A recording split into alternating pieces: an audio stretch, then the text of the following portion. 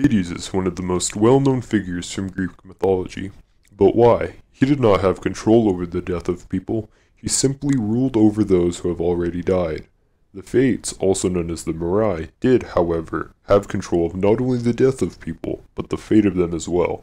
It is true that the people of ancient Greece did not worship the Moirai as often as certain gods such as Zeus or Athena, however there was a considerable amount of praise given to these women. Some major cities had temples for the Fates, these were Corinth, Sparta, and Thebes. They also were not written about in length often, but some writers such as Lucian in Zeus Catechized and Plato in the Republic wrote extensively about them. In Zeus Catechized, a man named Cyniscus questioned Zeus on the power of the Fates. Zeus, I come with a simple request, not of wealth or power, but to just ask one question.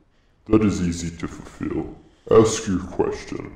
Are the poems of Homer and Hesiod true? That whatever the fates spin of us will inevitably happen? Of course, everything the fates weave comes true. They even weave the fates of the gods? This is also true. So you, the most powerful god, are powerless to the fates then? I don't know what you are driving at with these questions. So if the fates control everything, then why do we even make sacrifices to you gods in hopes of blessings, when you have no power in changing what the fates have already decided? I don't see any benefit in doing this. Uh, well, people don't perform sacrifices in hopes of blessings, but to honor what is superior to themselves. Are gods really superior, though? We're all just slaves to the fates. The only difference is that the slavery of the gods is eternal. But the eternity is blissful for us, and we live in complete happiness. Of course, you are always happy. But cripples like Hephaestus and prisoners in Tartarus like Kronos are clearly not always happy. See here, you're starting to be disrespectful. You may regret that.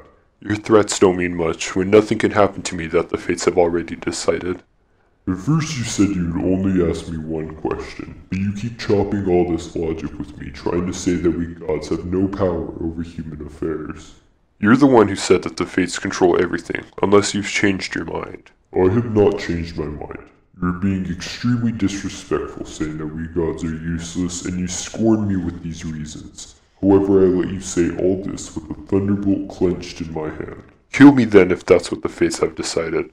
Also, another question, why are people judged after death? It isn't hard to grasp that evildoers deserve punishment and virtuous men deserve reward. But what's the point of punishing and rewarding them if the fates are the one who decided their actions in the first place? I'm done with these ridiculous questions. Lucian's rendition of the fates is that they have complete control over the lives of every being. However, not all tales follow the same theme. In the Republic by Plato, people choose the life they want to live before they are born. They even have the choice of being reborn as an animal. Some secondary sources show other versions of the fates from ancient Greek literature as well. Sometimes men have some sort of control over their fates. Sometimes gods can change the fate of a man. And sometimes there are two or even just one fate. It can be concluded that people of ancient Greece had varying views of fate and destiny, but in general it was quite important to them, and sometimes even seen as cowardly, to try to avoid one's fate.